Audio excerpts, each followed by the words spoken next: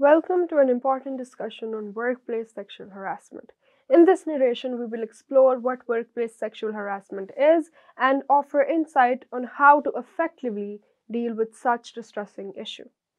Firstly, let's define workplace sexual harassment. Sexual harassment in workplace is any unwelcoming behavior that creates an hostile and intimidating environment for the employees. It encompasses wide range of actions from inappropriate comments and advances to explicit behavior or even egregious forms such as sexual assault. Recognizing these behaviors is vital to address and prevent workplace sexual harassment. Sexual harassment in workplace can have devastating impacts. It can lead to emotional distress, increased stress, lower job satisfaction, and even physical health problems. Victims may experience anxiety, depression, and loss of self esteem. Such behaviors can negatively impact work performance, ultimately harming both the individual and the organization. Preventing workplace sexual harassment starts with education and awareness. Employers should have clear and strong anti harassment policies in place and should provide training to the employees and foster a culture of respect and inclusivity.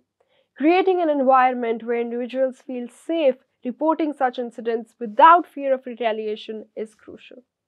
If you experience or witness workplace sexual harassment, it is essential to report it promptly. Employers should have established procedures for reporting harassment, which may include talking to the HR department or a designated authority. Documenting incidents and keeping records can be helpful in supporting your case. In many countries, there are legal protections available against workplace sexual harassment. Victims can seek legal recourse to hold their perpetrators accountable. Legal actions can lead to compensation for damages, disciplinary actions against the harasser, and even criminal charges in serious, severe situations. In our collective effort, we can create an environment where everyone can work without any fear of harassment, where the rights and dignity of the employees are upheld.